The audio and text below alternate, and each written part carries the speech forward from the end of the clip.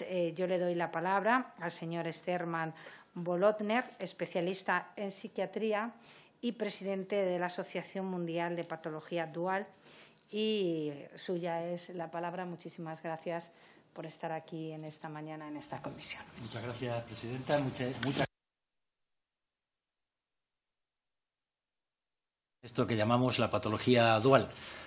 ¿Se ve así? Eh, para los no iniciados, la patología dual significa una adicción y otro trastorno mental, entendiendo que las adicciones son trastornos mentales y que además concurren siempre con otros trastornos mentales. Bueno, el debate en el que estamos inmersos es el debate de la regulación del cannabis, eh, que no es un debate que nos afecta solamente a nosotros, afecta a todo el mundo occidental, a todo el mundo democrático, como vemos en esta foto, en esta fotografía de Estados Unidos, donde depende de los estados, la situación es de una manera o de otra o de otra es evidente que desde, que la disponibilidad, la permisividad respecto al cannabis es mayor en la sociedad, el consumo aumenta. Es lógico, cuando tenemos más salas de juego se aumenta el juego, cuando hay más bares aumenta el consumo de alcohol y en estos datos que vemos en, Estados Unidos, en un estado del primero que fue el que legalizó el cannabis, que es Colorado, pues aumenta el consumo y sobre todo aumenta en una población joven de 18 a 25 años. Pero algo mucho más preocupante, aumenta también en menores de edad. Bueno, desde el punto de vista del funcionamiento mental, nosotros sabemos que en la salud y en la enfermedad el, funcionamiento mental se basa en el cerebro. Cómo pensamos, cómo sentimos, cómo nos controlamos, cómo nos relacionamos, cómo percibimos, está basado en el cerebro. Eso lleva a la comunidad científica a afirmar que todos los trastornos mentales son trastornos del cerebro humano incluyendo las adicciones. Esto es unas frases sacadas de un artículo publicado, firmado por los principales responsables de los institutos públicos americanos, publicado en el New England Journal of Medicine, que es la revista de más impacto en medicina, de mayor nivel científico, y en esto se afirma el 10% de las personas expuestas a sustancias con capacidad adictiva tendrá una adicción. Por lo tanto, parece que la sustancia es necesaria para tener una adicción, pero no es suficiente solamente la persona que tiene vulnerabilidad a tener adicción y por lo tanto también lo tendrá otros trastornos mentales, va a desarrollar este trastorno mental que es la adicción y la patología dual. Eh, desde hace años, desde el punto de vista neurobiológico, se viene estudiando los sistemas eh, neurobiológicos que tienen que ver con eh, la adicción a drogas. Como veis, hay sistemas de señalización del cerebro que tienen nombres de sustancias, de drogas. Un sistema nicotínico, un sistema opioide, un sistema cannabinoide. No le hemos puesto esos nombres para drogarnos. Tienen que ver con nuestra supervivencia como individuos y como especie. Filogenética y, eh, ontogénicamente están ahí para, involucrados en muchísimas actividades de, de la supervivencia de los seres humanos. Pero también en esos sistemas van a impactar las sustancias que consumimos. Cuando consumimos nicotina o, morfina o, cannabis, pues van a impactar en estos sistemas. La historia del sistema endocannabinoide endógeno se remonta a los años 60 del siglo pasado, cuando Gaoni y el profesor Mechulen, dos investigadores israelíes, eh, eh, identificaron primero el THC. Tuve la oportunidad y el honor de conocer al profesor Mechulen, que todavía está vivo y activo con más de 90 años. Eh, Después, en los años 90, se identificaron receptores del cannabis, los llamados CB1 y CB2. Los CB1 se encuentran fundamentalmente en el sistema nervioso central y los CB2 también están fuera. Si hay receptores en el cuerpo del cannabis, tiene que haber también cannabis endógeno. Y hay cannabis endógeno. Se han identificado dos ligandos, así les llamamos, anandamida y dos araquidonilglicerol. El sistema endocannabinoide está eh, extendido, está modulado por la dieta, el sueño, el ejercicio, el estrés y multitud de otros factores. Los endocannabinoides, no exógenos, tienen un papel, por lo tanto, en, la salud y en la enfermedad. Los medicamentos que modulan el sistema endocannabinoide endógeno podrían tener utilidad en multitud de enfermedades, vómitos. He marcado negritas algunas que me competen en mi condición de psiquiatra, dolor, anorexia, esquizofrenia, síndrome de la Tourette.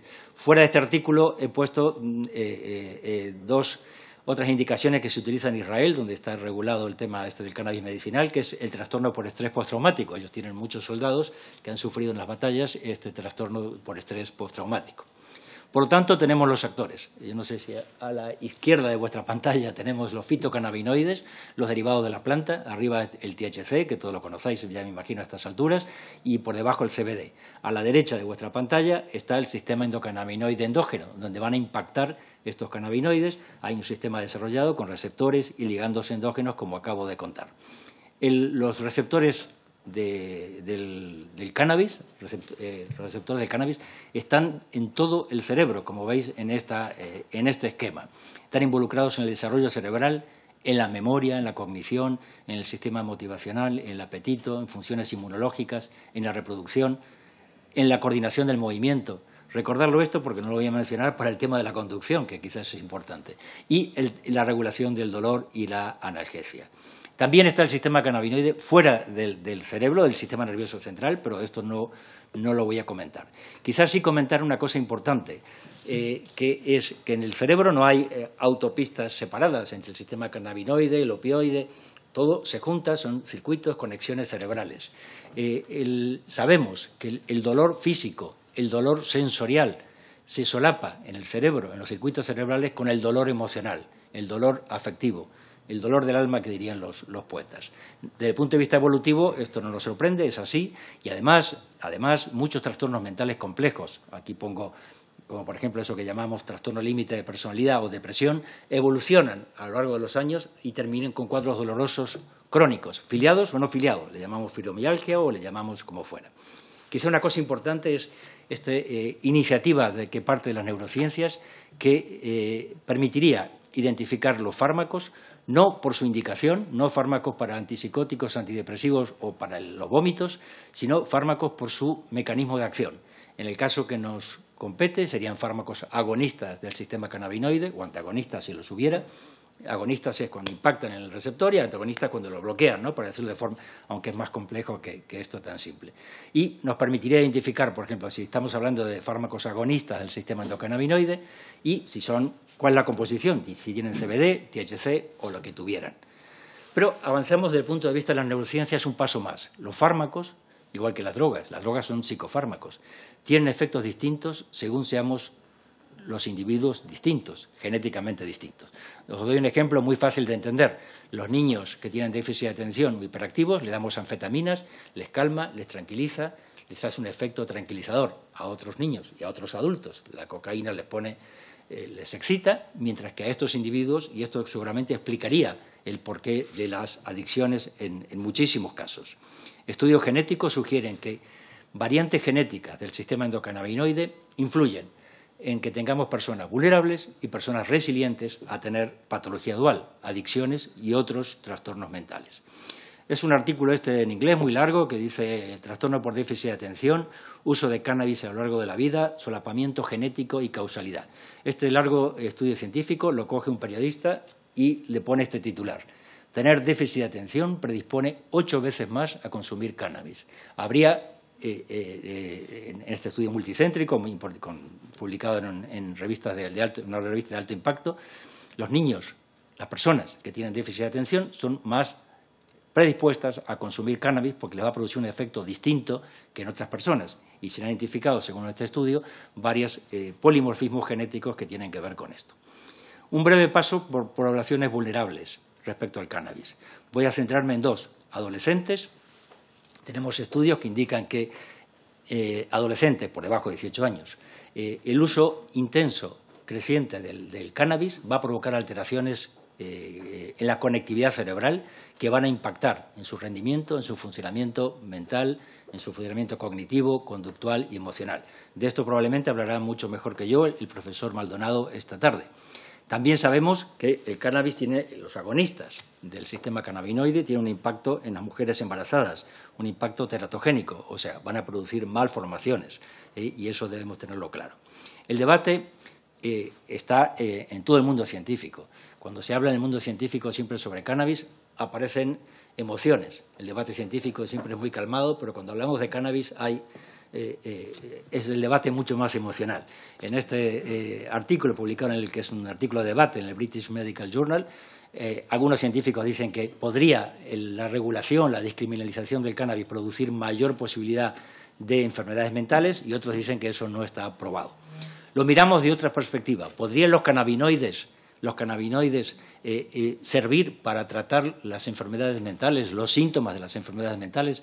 Se hace un, estudio y una revisión, un estudio sistemático, un metaanálisis publicado en Lancet hace muy poquito tiempo y lo que nos dicen es que hay pequeña evidencia sobre la ansiedad, sobre quizás el trastorno por estrés pero eso son evidencias de muy baja calidad, poco significativas. No podemos, desde el punto de vista científico, validar estas evidencias con los productos que tenemos hoy en día para eh, afirmar este, de, forma sistemática esto.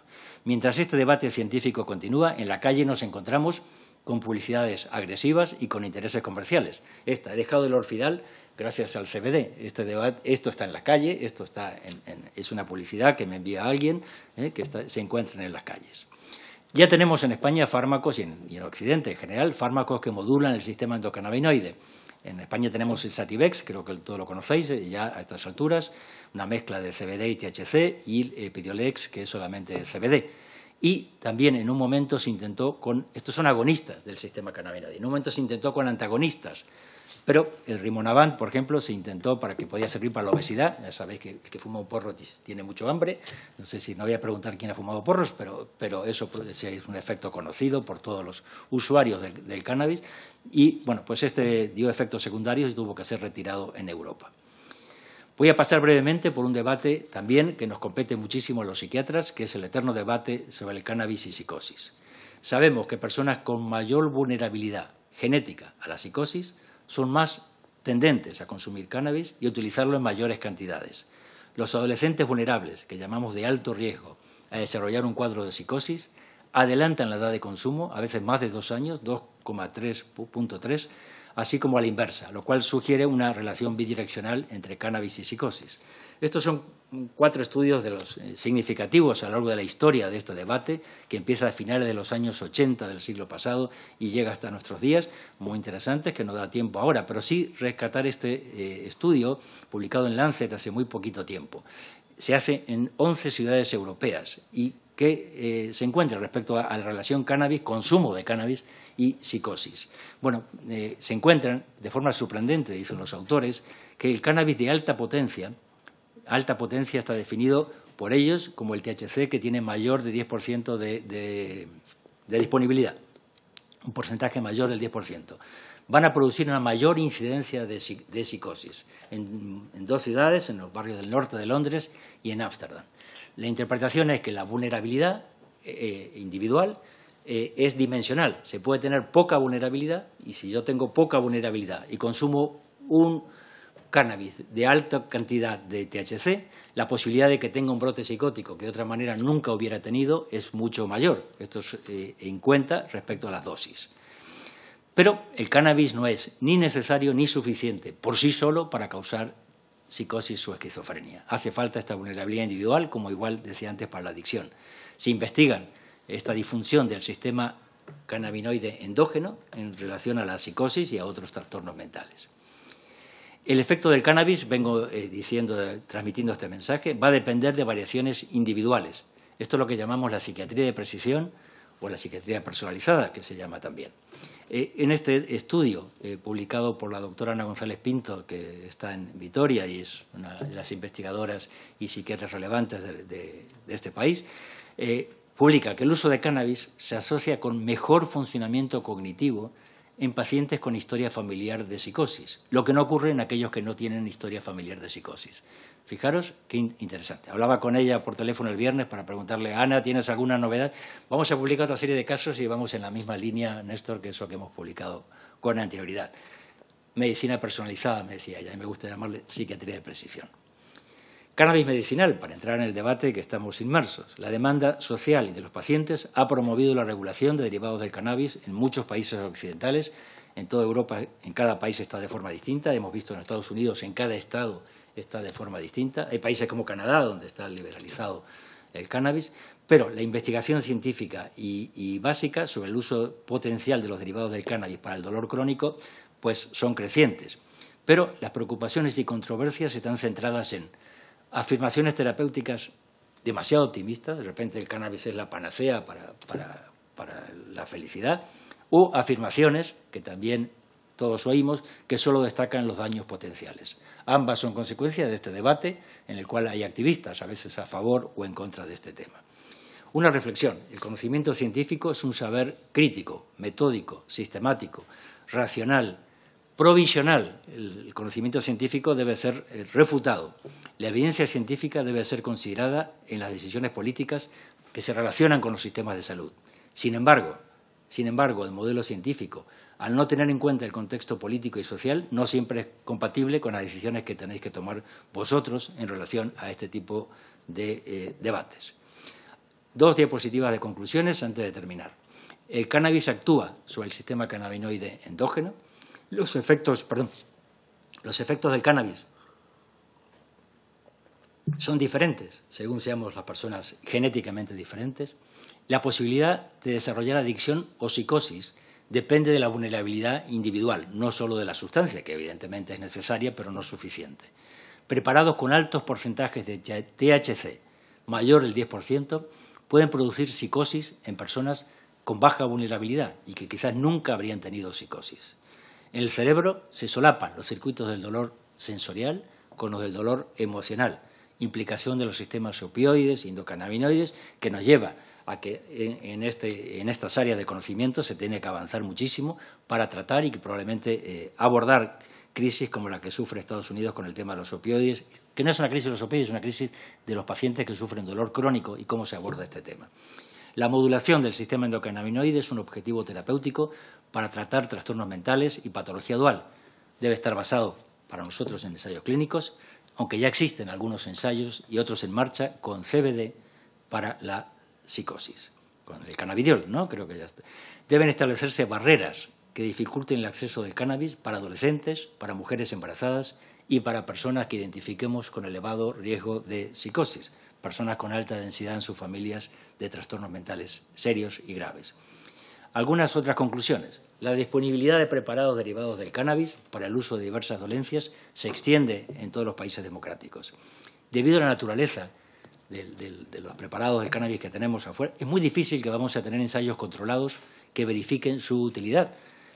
Quizá algún día, esto es una reflexión personal, se hagan ensayos con formulaciones adaptadas a nuevas tecnologías de administración, por ejemplo, no sé, productos de liberación prolongada del cannabis, lo que permitirá a las compañías patentarlos, financiarlos y someterlos a ensayos clínicos con todo el rigor metodológico y científico que hace falta. La regulación de estos productos, su venta controlada conociendo su composición, la proporción de THC-CBD, que ya vemos que es importante, en preparados farmacéuticos no inhalados.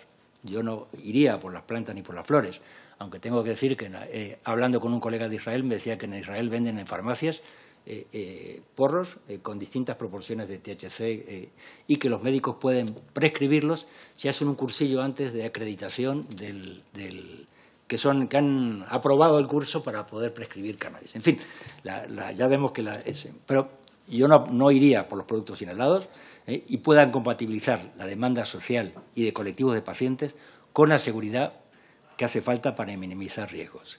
Según las evidencias científicas, se lo he dicho, el efecto THC-CBD depende de variaciones individuales de probable origen genético. No es igual el efecto en todas las personas, ni para el dolor, ni para, ni para nada. Y para los pacientes con patología dual habría que valorar riesgos y beneficios según las diferencias individuales. Creo que me he ajustado al tiempo, señora presidenta. Gracias. Perfectamente, muchísimas gracias. Pues eh, pasamos a continuación a, a las cuestiones que quieran plantear los portavoces, como siempre hacemos, ya saben, de menor a mayor. Con lo cual tiene en primer lugar la palabra por el Grupo Parlamentario de Ciudadanos el señor Díaz. Pues buenos días y muchas gracias, señor Sedman, por su objetiva eh, y, alejada de esa dualidad y esa polarización que nos eh, manifestaba en el debate que existe sobre esta cuestión en, su exposición. Eh, sí es verdad, y se lo dice los que hemos pasado la pandemia en esta Comisión de Sanidad, le puedo garantizar que efectivamente el método científico que es objetivo por el método y no por la objetividad de los científicos.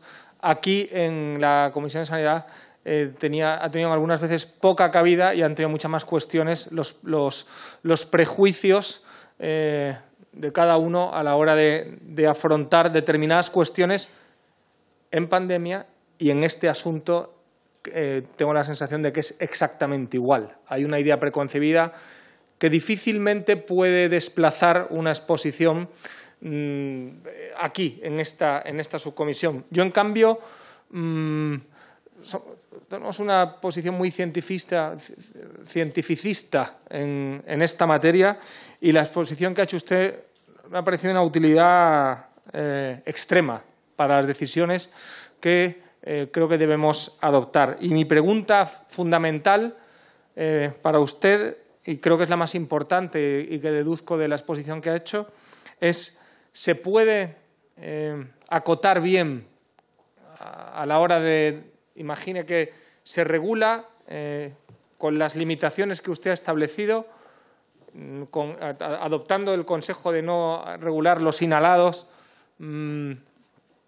¿Se puede acotar un médico o un profesional que vaya a recetar esto la potencialidad individual eh, para una persona, el daño o, acotar bien las características individuales de una persona a la hora de recetar eh, un, eventual eh, cannabis medicinal, ¿puede un médico, mm, igual que poder determinar cuáles son esas características individuales que serán bien conocidas, mm, ¿puede, detectarlas en una consulta con un paciente o está lejos de, su, de su alcance? Yo creo que es la pregunta más importante que puedo hacer con, base a lo que usted ha expuesto aquí y muchas gracias por su enriquecedora exposición.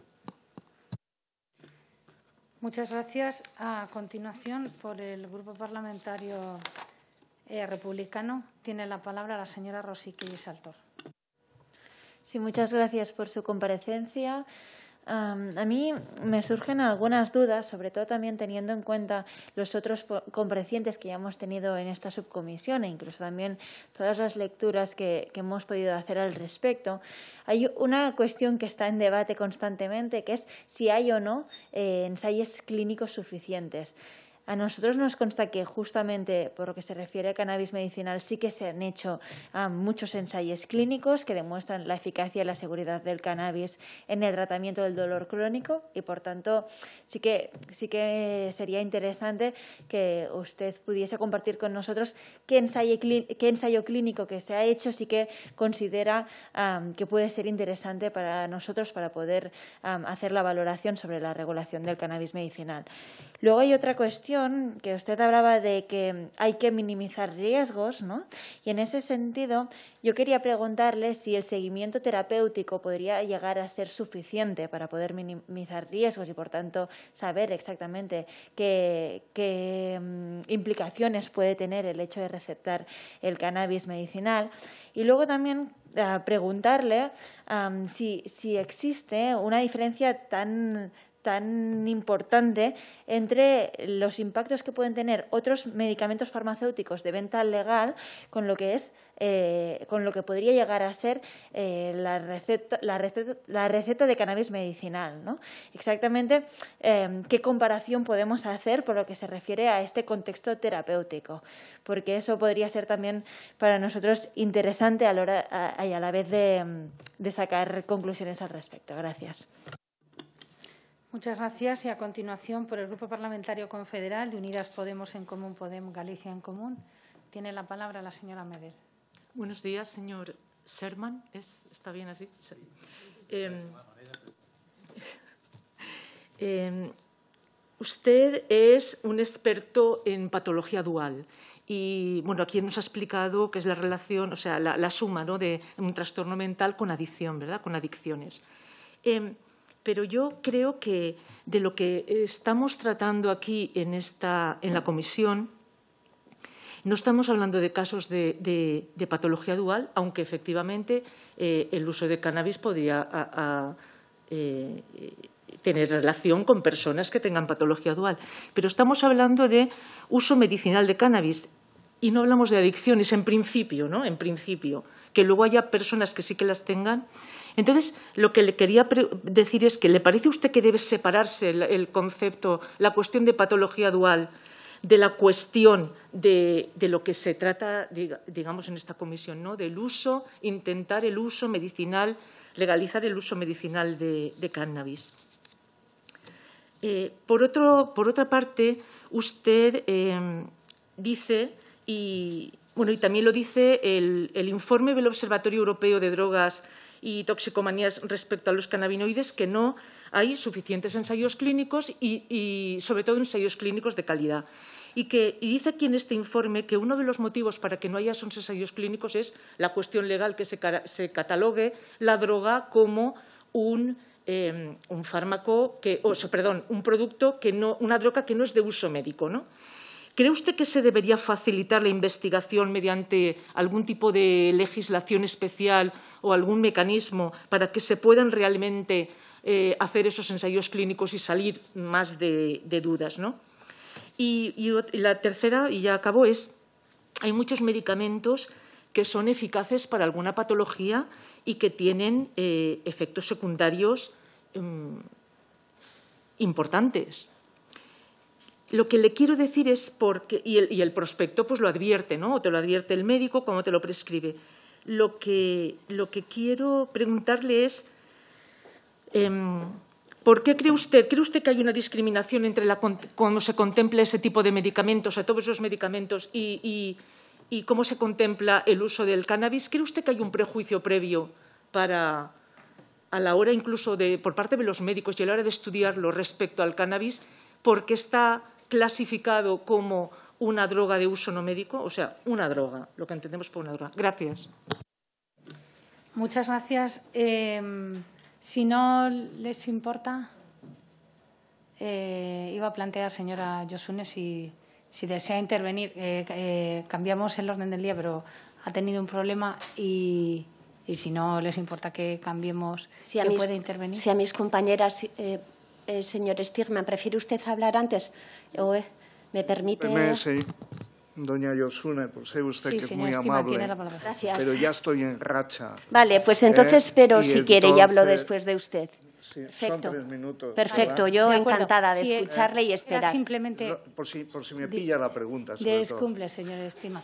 Sí, es simplemente cambiar un poco el orden del día, en, me refiero al orden de intervención, perdón. el orden del día, lo que usted quiera. ¿eh? No, no, yo... si ¿eh? ustedes están todos de acuerdo, lo hacemos como dicen. Tiene la palabra el señor Estima por el Grupo Parlamentario Vox y después la... No funciona esto, me avisa sí. dos minutos Perfecto, yo le aviso. Sí. Bueno, Muchísimas gracias. Con la venia, señora presidenta, muchísimas gracias, doctor Sherman. Y para nosotros, para el Grupo Parlamentario Vox, los tres somos médicos, eh, nos ha sido eh, realmente interesante y curiosamente comprensible. Eh, entonces, yo quería, quería hacer una salvedad. Una vez que hemos escuchado la gran altura moral y científica que, como siempre, nos inscribe el señor Díaz, su señoría Díaz, de Ciudadanos, eh, una vez dicho esto, naturalmente nosotros sí tenemos prejuicios. Tenemos prejuicios porque el señor Pablo Iglesias anunció que realmente la utilización de la legalización de la marihuana iba a servir para financiar la seguridad social. Estamos absolutamente en contra de eso. De las dos cosas. Eh, por supuesto que tenemos prejuicios porque somos políticos, no solamente médicos. Eh, yo quisiera señalarle una cosa. Aquí hay una confusión deliberada entre el uso de la marihuana o cannabis como flor, planta, y los cannabinoides. Esa confusión deliberada aquí en la audiencia intenta embarrar el campo y yo quisiera con esta pregunta limpiarlo. La pregunta es, son dos. La primera, usted ha concluido, doctor Sherman, que cree muy improbable que se hagan ensayos clínicos con cannabinoides. ¿Qué de probable es hacer ensayos clínicos con la marihuana o cannabis completo, tanto la planta, flor seca y demás, teniendo en cuenta que la marihuana tiene hasta 400 componentes, pongamos 150 más activos, dentro de sí. Y eso podría complicar lo que nosotros quisiéramos saber, porque, señorías, Nosotros no queremos saber si los cannabinoides tienen un uso medicinal o no. Sí hemos comprobado que tiene en determinados síndromes neurológicos. Lo que queremos saber en esta comisión es si el uso de la marihuana, fomentado, como ha dicho el doctor Sherman, por poderosos intereses económicos, el uso de marihuana puede en algún momento ser analizado apropiadamente para conseguir conclusiones científicamente válidas. Esa es la pregunta. Y la segunda pregunta, si sabemos que hay polimorfismos genéticos, por ejemplo, el de la ortoglutamil metiltransferasa, que condicionan la toxicidad del cannabis, y si hay otros polimorfismos genéticos implicados, ¿no cree que entonces nos veríamos obligados a analizar esos polimorfismos genéticos en cada uno de los individuos que consumen estas sustancias, con los cuales hacer análisis genético significa un gasto enorme, que no digo yo que no se debiera hacer en otros fármacos psicoactivos o neuroactivos, pero también complicaría un poco la, la, administración. Así que con esas dos preguntas y dándole las gracias y rogándole que, aunque sea en PDF, nos envíe su presentación, pues yo, eh, pues nada, muy agradecido y he terminado. Gracias por la indulgencia, Muchas señora gracias. presidenta. Muchas gracias. Puedo dejar la presentación, ¿eh? si queréis. Vale. a disposición De acuerdo. De todos los. Gracias. Eh, a continuación, el Grupo Parlamentario Vasco PNV tiene la palabra la señora Yosune. Sí, gracias, presidenta. Le agradezco la generosidad y al resto de compañeras y compañeros. Buenos días, eh, señor Serman. He venido escuchándole según iba llegando. Eh, usted se ha referido, eh, por una parte, a los riesgos, evidentemente, es lo, que esperábamos, eh, siendo usted especialista de la patología dual, como comentaba.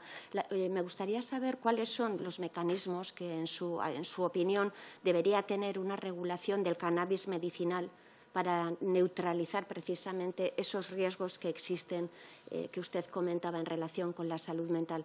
Si hay algo que tenemos claro, la inmensa mayoría, pero parece ser que no todos, por lo que acabo de escuchar, es que lo que no queremos es que en esta comisión, de, en esta subcomisión, se mezclen los debates, precisamente. Yo creo que hay un acuerdo eh, prácticamente unánime de que estamos hablando del uso medicinal, de que estamos hablando del uso medicinal y que el objeto de la creación de la subcomisión es precisamente conocer esos programas y en qué evidencia se han basado esos programas que se han puesto en marcha por distintos gobiernos próximos, Portugal, Francia, Alemania, que tendrán la ocasión de exponer sus evidencias. Usted se ha referido a Israel y, en concreto, a que conoce cuál es la realidad. Ha hablado también de algunos de los productos que se estaban planteando eh, o que se estaban vendiendo, por ejemplo, también en farmacias.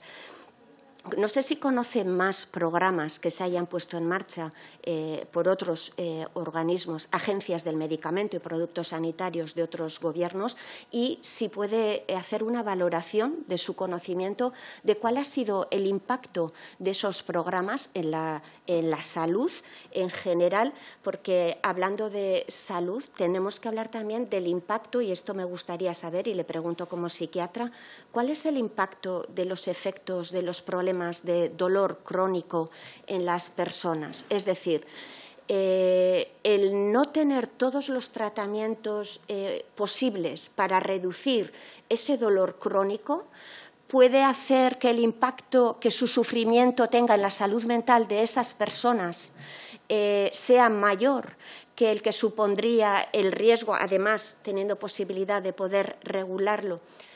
Mi última pregunta sería, ¿no cree usted que basándonos en esa evidencia científica en la que se hayan basado también otros eh, gobiernos, ese uso medicinal puede reducir considerablemente eh, el sufrimiento que muchas personas puedan estar padeciendo por distintas eh, patologías, en el caso del dolor crónico, por ejemplo, y no cree además que el hacerlo de forma regulada hace que esas personas no vayan al mercado negro y a espacios que son mucho menos controlados y, por tanto, su impacto en la patología dual, por ejemplo, será mayor?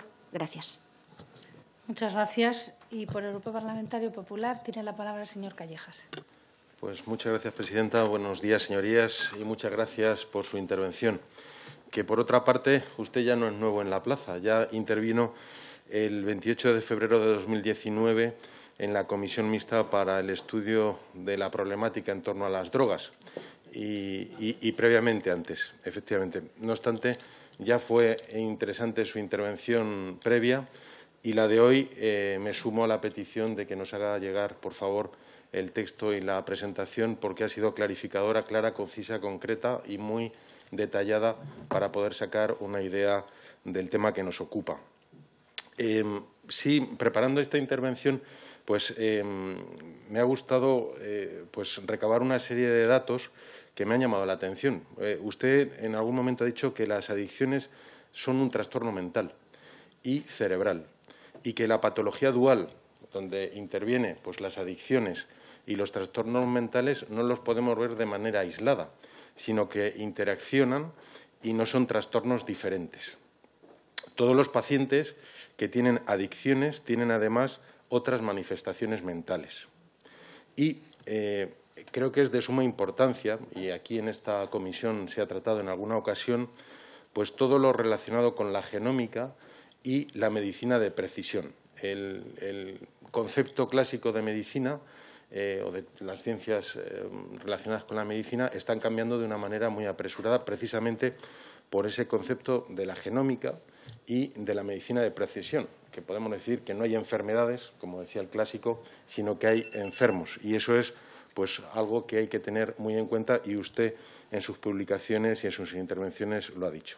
Al igual que también me parece muy relevante algo que ha dicho que el cerebro no es un lugar de, donde, de compartimentos estancos, sino que al final todo está relacionado. No hay un sitio específico para las adicciones ni un sitio específico para los trastornos mentales. Es otro concepto que creo que hay que tener en cuenta.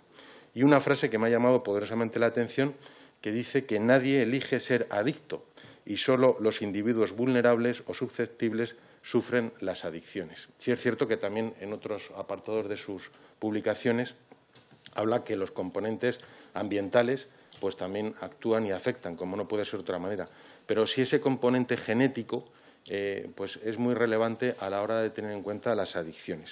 Centrándonos en el campo que nos ocupa, que es el cannabis, eh, que no la marihuana ni los cannabinoides, como bien ha dicho un predecesor en la palabra, eh, yo me gustaría transmitirle lo que en, el relato de las últimas intervenciones he sacado como conclusión y lanzarle dos preguntas. Personalmente, y creo que mi grupo igual, eh, no vemos evidencias científicas suficientes como para poder mantener que el, cannabis pueda tener un uso medicinal. Y algo todavía más importante, que no se han hecho todavía los estudios suficientes para poder acreditar ese tipo de argumentación. Las preguntas que le lanzo. ¿Hay actualmente en el armamentario eh, farmacológico de nuestro país fármacos suficientes para poder paliar pues esos dolores crónicos, esas situaciones que eh, dolorosas. señor Calleja, de forma breve, concrete la pregunta. ¿Hay, hay, hay em, armas suficientes farmacológicas? Y segundo, ¿cree que este es el foro adecuado, el político, para hablar de estos temas? ¿O previamente han de ser pues, las autoridades científicas las que nos den el resultado y luego nosotros debatamos esos resultados? Muchas gracias. Muchas gracias. Y por el Grupo Parlamentario Socialista tiene la palabra la señora Andrés, Barea. Andrés Barea. Buenos días, señor Serman. Eh, gracias por su comparecencia y sus explicaciones. Como habrá visto, esta es una comisión para el estudio del cannabis medicinal. Intentamos eh, comprender y saber entender eh, cuál es la polémica social que está abierta, la demanda y las propias peticiones que existen en la sociedad.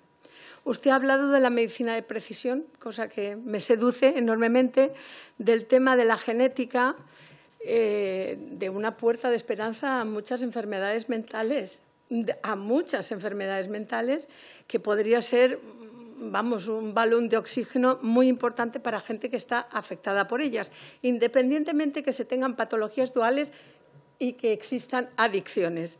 Pero ¿usted cree que el cannabis eh, podría ser una solución para los pacientes con dolor crónico que en este momento no tienen ningún tipo de solución desde el punto de vista psiquiátrico? Y luego ha hablado de la demanda social y de la seguridad. Eh, ¿Cuáles serían los beneficios y cuáles serían los perjuicios? Ese es el tema, porque a lo mejor una persona con dolor eh, los perjuicios serían mayor que los beneficios o los beneficios mejor que los perjuicios. Y luego, mm, respecto a lo que ha dicho, es un comentario muy, interesante, ¿no? Sobre que hay personas que determinados fármacos eh, reaccionan de forma diferente según la persona. Eh, para aquellos pacientes psiquiátricos, que al parecer somos uno de cada diez en la población, ¿no? Más o menos se dice ese es el porcentaje. ¿Sería beneficioso tomar cannabis? Gracias. Muchas gracias. Pues concluido este turno de portavoces donde han planteado cuestiones, señora Sherman eh, tiene de nuevo la palabra. Así. Ah, bueno, pues muy interesante, muchas preguntas, podríamos estar mucho tiempo. Primero, compartir que estos prejuicios que, que tenéis vosotros eh, no son exclusivos solamente de, los, que, los legisladores, porque también explicaba antes en el mundo científico, también cuando el debate de cannabis genera eh, un debate personalizado que tiene que ver con nuestros prejuicios, al cual no podemos eludir, evidentemente. Desde el punto de vista científico, intentamos ajustarnos a los conocimientos científicos, que vemos que son controvertidos, que son cambiantes, que no son eh, eh, para siempre, que no, es, un, no, es, no es algo religioso. O sea que todo conocimiento científico debe ser rebatido, como han dicho antes, y tenemos aquí entre los legisladores varios colegas médicos que conocen perfectamente esto. El, tema es que es muy complicado porque en el, cannabis, como se explicaba antes, hay montones de productos, 140 fitocannabinoides y otros no sé qué, bueno, un montón de componentes y el, cannabis realmente es muy difícil regular y hacer ensayos clínicos con ese tipo de compuestos. Pero al mismo tiempo, yo comentaba antes, una cosa es el conocimiento científico y otra cosa es que hay una demanda social y de pacientes que tiene que ser, de alguna manera, eh, eh, eh, puesta en valor y que algo hay que hacer con este tema, porque el cannabis en nuestro país es prácticamente de, uso, no es legal, pero cualquiera puede comprar cannabis. Ya hemos visto la publicidad agresiva con intereses comerciales, los clubes canábicos y todas esas cosas que proliferan de todas maneras. Entonces, sería importante tener productos que de alguna manera den seguridad a las personas que necesitan. Es muy difícil indicar eh, eh, enfermedades exactas, eh, como explicaba antes, porque eso requiere ensayos clínicos que parece que no estamos en condiciones exactas, y ya hemos visto que hay, hay alguien me preguntaba, hay muchos intentos de, de revisiones sistemáticas y de metaanálisis y no encuentran que la evidencia científica sea de alta calidad, es de baja calidad. Algo es inherente al producto, a lo que estamos cuando alguien utiliza cannabis. Quizás sería interesante que hubiera una disponibilidad de un cannabis, no sé, que esté regulado, que se sepa la cantidad de THC y CBD, que exactamente sepa el consumidor que quiere consumir Es evidente que el efecto va a ser distinto según las personas.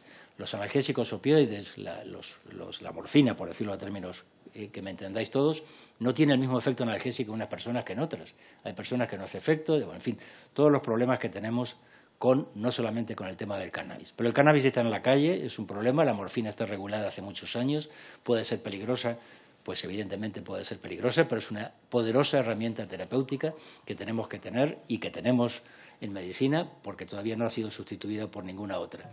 El cannabis no tenemos, el debate está ahí, en cada país es diferente, ¿eh? no tenemos un solo país de Europa eh, distinto, eh, perdón, que tenga una regulación que sea semejante.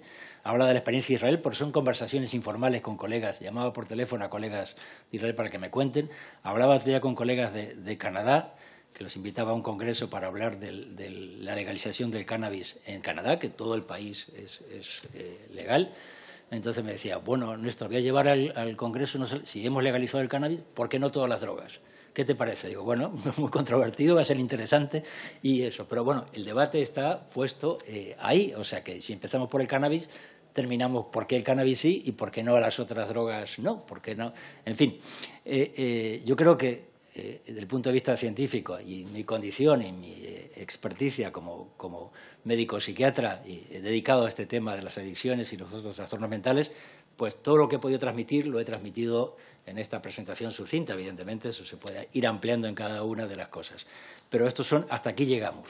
Quizá en estos momentos corresponde a vosotros tomar decisiones, eh, consultando a los científicos, por supuesto que, se deben consultar a, las sociedades científicas, al mundo científico, que debe tener la palabra en este sentido, pero la decisión es de los legisladores, o sea, sobre qué vais a hacer con esta sociedad que está demandando, no solamente en España, sino en el resto de los países democráticos y occidentales y por eso hay esa legislación cambiante rápidamente en estos últimos años.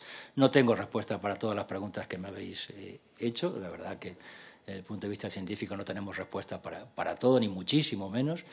Llegará un día en que podamos identificar desde el punto de vista de la psiquiatría de precisión, claro que sí, pero en estos momentos no tenemos pruebas todavía genéticas, aunque se están desarrollando, digamos, para determinar quién es vulnerable eh, cuidado porque usted cuando fume un porro de más del 10% de, o cuando consuma, ya no sea un porro, sea en, en producto farmacéutico, un THC de elevada potencia, tiene mayor riesgo de producir, de tener psicosis o de tener adicción al, cannabis. O en fin, tenemos marcadores clínicos, tenemos eh, eh, población vulnerable. Por ejemplo, le preguntamos a los pacientes, en su familia hay muchos, muchas personas con enfermedades mentales. Se atendía a un, paciente que era el marido de una enfermera del hospital que decía que era, este hombre bipolar y le decía cuidado con vuestros cuatro hijos que, tienen cuatro hijos porque cuando fumen un porro otros chicos harán jiji jaja pero los vuestros tienen un grave riesgo de desarrollar psicosis y adicciones.